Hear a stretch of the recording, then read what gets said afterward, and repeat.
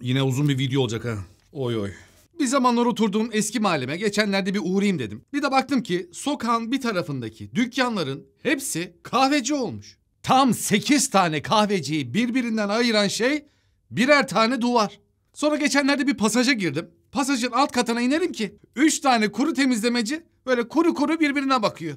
Lokmacıları anlatmaya bile gerek yok. Onların zaten sonunu hepiniz biliyorsunuz. Herkes ne yaparsa aynısını yapmayı bıraktım. Bir de aynı yerde aynısını yapma tutkusunu biri bana anlatabilir mi? Ya İstanbul'da tam tamına 4 AVM'nin yan yana olduğu yer var. Sonra da oturur düşünürler ya biz niye battık acaba diye. Belki de vizyonun sabahları kahvaltıdan önce alınan bir hapı olmadığındandır. Peki ben bunları niye anlatıyorum? Çünkü dizilerin de içinde hiçbir anlam bütünlüğü ve sanatsal bir değer taşımadan bir ticari ürün olduğunu anlatabilmek için daha iyi bir yol bulamıyorum. Ya hadi dizileri geçtim. Teoman'ın şunu yaptığı dünyadan bahsediyoruz.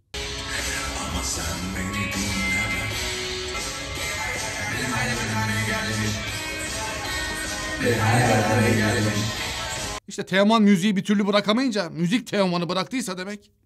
Bak yine nereden nereye geldik. Biz yine gelelim diziye. İşte aynı yere, aynı dükkanı, aynı konseptle açan bu işletmemizin adı da Kader Bağları.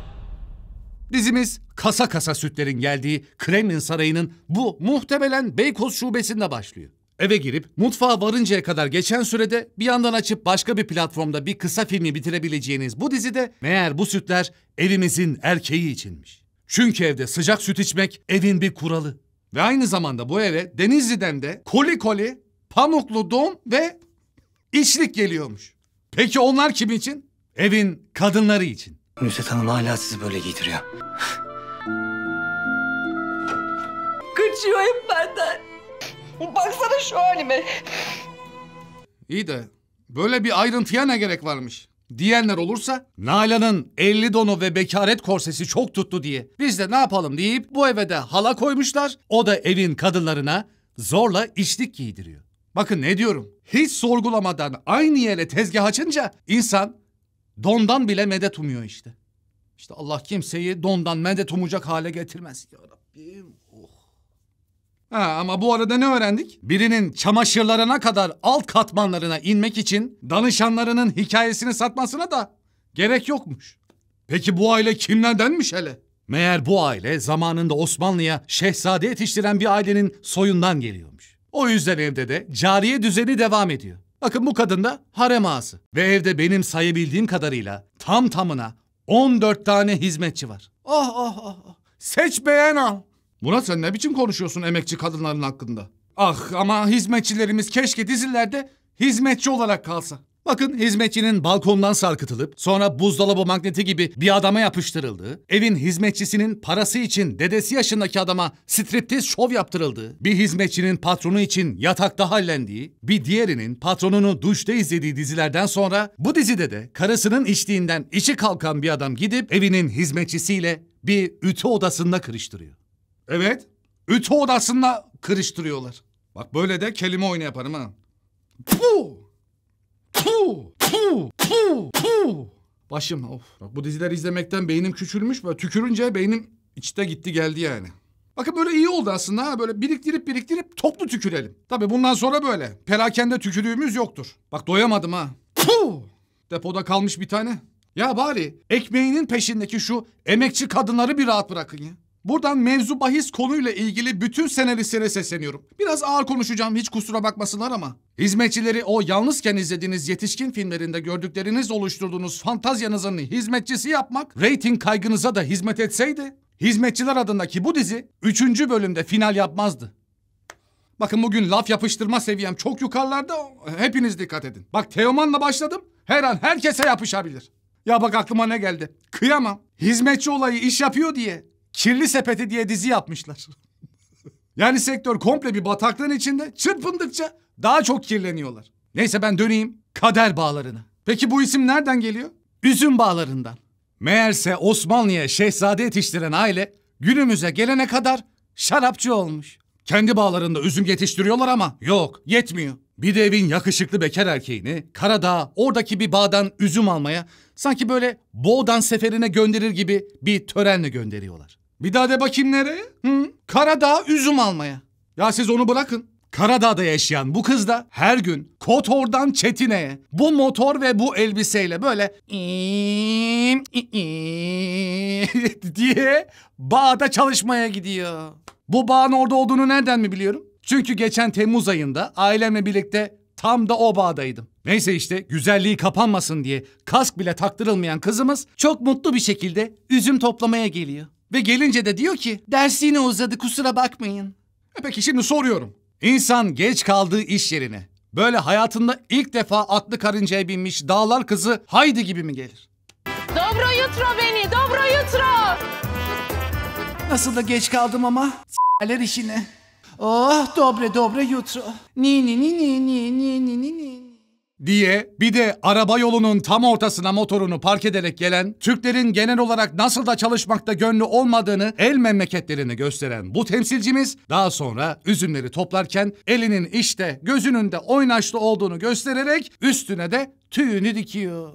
Oraya gelen erkeğimiz iş görüşmesi yaparken of erkeğe bak bunu da fermente etsen ne kafa yapar ha diye içinden geçiren kızımıza seksi bir bakış atayım derken şu metrobüs sapığı gibi bakan erkeğimiz de daha sonra yukarıda ortaklarıyla toplantı yapmaya başlıyor. Ve o esnada da kız şak diye içeri girmiyor mu? Ve böyle "Hmm" diye işe gelip kapıdan girdikten sonra koşmaya başlayan bu fiktirik bir de toplantı odasına baskın yapıyor. Yövmiyemi kestiler paramı istiyorum diyor. Patron da parasını vermeyince bir de adamın şişesini kırıyor. Normalde adamı kızdan kurtarmak gerekiyor ama kurtarınca da aşık olmak gerekiyor ya. Raconu. Sıkıntı yani Hollandalık bir mevzu bizi aşar. İşte o yüzden de erkeğimiz gelip kızı kurtarıyor ve adama da laps diye bir tane yapıştırıyor. Ve erkeğimiz bu yumruktan, kızımız da sanırım bu şişeyi kırmaktan nezarete atılıyor. Ama kızımız yine mutlu, yine mutlu. Ve işte karakterlerimiz oracıkta birbirlerine aşık olmaya çalışıyorlar. Çalışıyorlar diyorum çünkü bunların bağlantı hızı düşük internet gibi ping yapınca bir gecikme oluyor. Bakıyorlar, bakıyorlar. Hatta olan bir tık da zorluyor kendini ama yok. İşte lag var lag. Vay be. Durduk yere şimdi internete 146 ile bağlanan nesile nostalji oldu iyi mi? Bu arada geçen de internette ne buldum? Bakın internete o gacır gucur sesle bağlandığımız dönemde sadece bir saatlik bağlantıya tam tamına 4 milyon 320 bin TL ödüyormuşuz. Tabii 6 sıfır atılmadan önce. Ama biliyorsunuz memlekette yaşanan fiyat artışlarından sonra o atılan 6 sıfırdan birisi tekrar böyle selam diye geri geldi.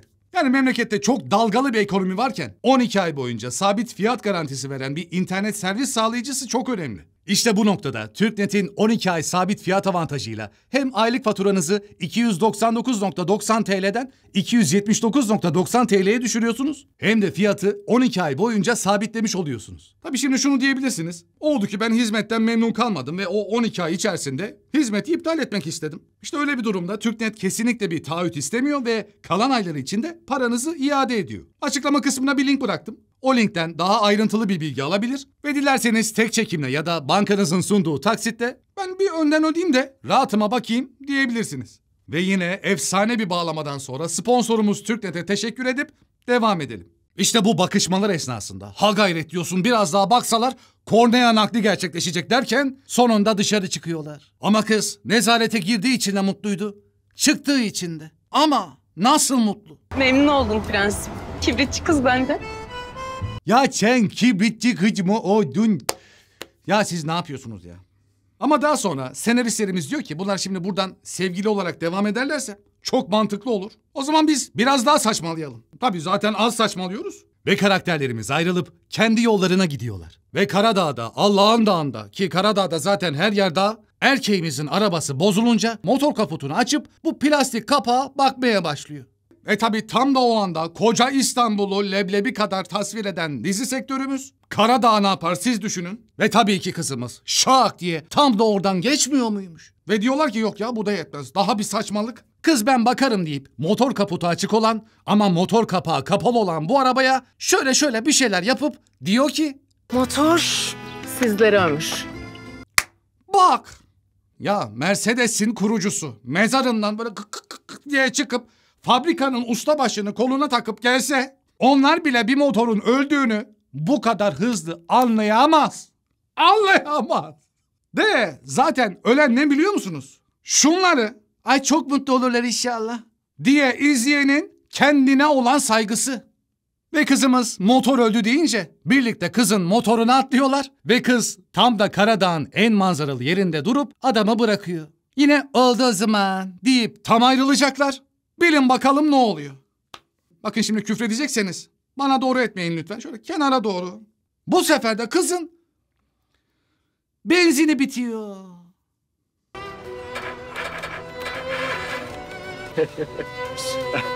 ay ay ay ay. Ay yapım. Bak şu an beynimin su- suyu bir tık daha çekildi ha. Yani kızı hevesi göstermeyelim. Aman hafif meşref demesinler ama izleyiciye sazan muamelesi yapmaya devam edelim öyle mi?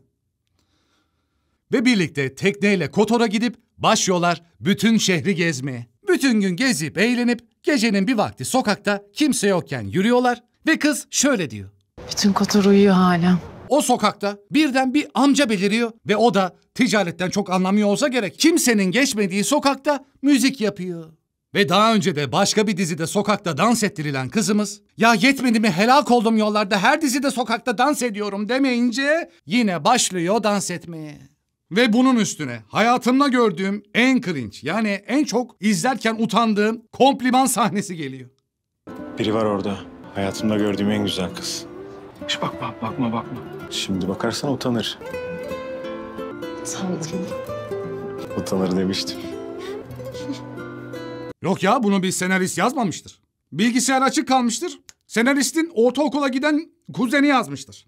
Ve bu kadar mıncık mıncık romantizmden sonra artık sevgili oluyorlar değil mi?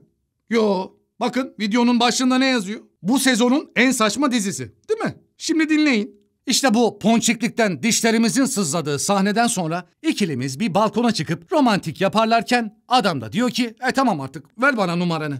Kız da diyor ki olmaz ben aşka inanmıyorum. E Eğer bir sene sonra tekrar burada buluşursak seninle birlikte olurum. He. Sebep? Ya bunlar üzümcü ya. Kız adamı yıllandırıyor işte. Tabii günü geldiğinde böyle tadı daha iyi olur diye. Yani bugüne kadar çok fazla ilişki gördüm. Gazeteciye karşı sevgilisiyle fingir diyenini bile gördüm. Ama erkeğini fermente edenini de ilk defa görüyorum. Neyse. Aradan 12 ay geçiyor. Adam alıyor eline çiçeği ve Karadağ'da aynı yere geliyor. Bakıyor kız yok. Aynı manzaralı yere gidiyor. Kız yine yok. E o zaman bu gelmeyecek deyip Türkiye'ye geri dönüyor. Kardeş diyeceğim de kardeş olsanız çekilmezsiniz. Bunlar saati konuşmadı ki. Kız bir sene sonra burada buluşalım dedi. Bir sene boyunca çeşme gibi burada bekleyeceğim demedi ki. Ve işte daha sonra Aradan 3 ay geçiyor ve yine ve yine ve billahi de yine sürekli bir aile dostunun kızıyla evlenme baskısı kuran, 1930'larda gibi gülmeden fotoğraf çekilen bu ucube ailelerden bu dizide de var ve erkeğimiz bu baskı yüzünden bu kızla nişanlanmayı kabul ediyor. Peki o dallar kızı Haydi Karadağ'da niye gelmemiş? Ya aslında kız ben bir yıl dedim ama iyi yedim deyip daha ilk gece diye böyle kımıl kımıl iç geçirip şafak saymaya başladıktan sonra memlekete geri dönüyor ve onları terk edip giden babası da tam da bir yıl sonra kızın bavulunu ve pasaportunu hazırlayıp ertesi gün yola çıkacağı gece bir telefon açıp para istiyor. Ve kız da gidip serseri babasına Karadağ'a gitmek için hazırladığı parayı verirken kızın biraz aklı evvel küçük kardeşi de bir arabaya binip babasının üstüne arabayı sürüyor. Adam da böyle babam ve oğlum tadında tam ellerini kaldırırken olanlar oluyor. Ha işte yık geç babanı TikTok versiyon. E bir dakika şimdi Murat sen de dizinin hakkını yiyorsun. Bak ne güzel en azından farklı bir yerde tanıştılar. Kız hizmetçi falan değil. Derseniz. Hı? Değil. Hı? Yumurtaya can insana mantık veren Rabbimin hikmetinden sual olunmaz. Sen bu kız daha sonra tesadüfen bu eve hizmetçi olarak geliyor ya. Omletleriniz hazır efendim. Videoyu şurada kapat git değil mi? Ben ne daha ne uğraşacaksın ki? Videoyu şurada kapat git ya. Git. Sakin. Daha. Dur ama durun daha söyleyeceklerim var. Ya cidden şu yapımcılara üzülüyorum ha. Yemin ediyorum şu eve verdiğiniz haftalık kira parasını bankada değerlendirseniz şu dizilerden daha fazla para kazanırsınız da. İşte ben de neye karışıyorsam herkesin bir bildiği var. Ve evet yanlış duymadınız. Bu kız 15 ay sonra tesadüfen bu adamın evine hizmetçi olarak geliyor. Ya hele anlat bakalım bu nasıl oluyor derseniz sizin de bitmedi merakınız. Bu kızın annesinin bir arkadaşı meğer bu evde bir hizmetçiymiş. Evdeki 14 hizmetçiden bak gösteremiyorum bile. Bir tanesi ayrılınca diyorlar ki yetmez. 13 tane hizmetçi kime yetsin? Hemen bir tane daha bulmamız lazım deyip bu kadını arıyorlar. O da çocuklarını alıp bu evde yatılı olarak kalmaya geliyor. Peki bilin bakalım tam da hangi gün? Bu oğlanın nişanlandığı gün. Peki bu çiftin ilk dans müziği ne? Karadağ'da dans ettikleri müzik. Vallahi de billahi de. Ha işte kader bağları. Diyerek hepimiz de dalga geçiyorlar ha dostlar. Ya uyanın uyanın artık diye haykırmaktan artık altıma saçacağım bütün biriktirdiklerimi. Çünkü şiştim. Ama nereye saçayım onu da bilmiyorum. Ne yapayım yani şunları ağzı açık bir şekilde izleyenlerin ağzının tam orta yerine mi saçayım? Tüm hiddetimi. İşte bu dizide bu dengesiz kız evde fiktiri fiktiri gezerken erkeğimiz de avının kokusunu alıyor ama emin de olamıyor. Ve o esnada harem ağamız da gelip diyor ki Kerem Bey, Rana Hanım çok güzel oldu.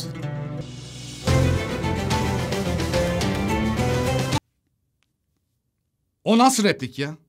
Şimdi yine salon erkeği modumdan çıkartıp böyle lanlolunla konuşturacaklar benim. Ulan araba mı bu? Adam vuruğunu düzelttirmeye sanayiye mi getirdi? Ne o öyle tamponunuz çok güzel oldu ha eskisinden daha iyi oldu der gibi. Ne yani bu bak çok güzel oldu. Sen alışkınsın. Seneye de seversin mi bu ne bu? Neyse tam da kızın denk geldiği bu nişan töreninde erkek kardeşi de pasta arabasını böyle Tadında iteklerken plastikten yapılma pasta yere düşüp yerde sekmeye başlayınca evin şirret halası annemize kızıyor ve kız da o esnada gelince erkeğimiz aha diyor. Kadere bak. Kadere bak. Kimler kimlerle beraber yan yana geliyor. Kadere bak. Peki kız ne diyor? Dünya küçükmüş. Ha işte hayal dünyamız küçük dememişler de dünya küçük demişler. De dünyanın bundan haberi var mı acaba? Ve kızı kolundan çektiği için iş yapacağı adamı yumruklayan erkekimiz aynı kızı daha da kaba şekilde başlıyor kolundan sürüklemeye. Ya sen gel ben seninle evleneceğim diye. Ama kızımız da diyor ki olmaz. Adam diyor ya ne oldu? Kız da diyor ki ya, ya. İşte kız ve ailesi polislerden kaçtığı için de bu evde sığınmak zorunda kalıyorlar ve anne hastalanınca kızımız da o ana kadar aman reyting kaçmasın diye minisiyle gezerken en sonunda giyiyor hizmetçi kıyafetlerini ve evin hizmetçisi oluyor. Ne diyeyim ki artık? Ha, sizce de söylenebilecek her şeyi söylemedim mi? Gerçi ben kime diyorum? Bakın hani YouTube'da bir özellik var ya, bir videonun en çok tekrar tekrar oynatılan yerini görebiliyorsunuz. Ve bakın bu dizinin en çok oynatılan yeri neresi? Ya işte gördünüz mü? Herkes hak ettiğini yaşıyor. Ve her ülke hak ettiğini izliyor.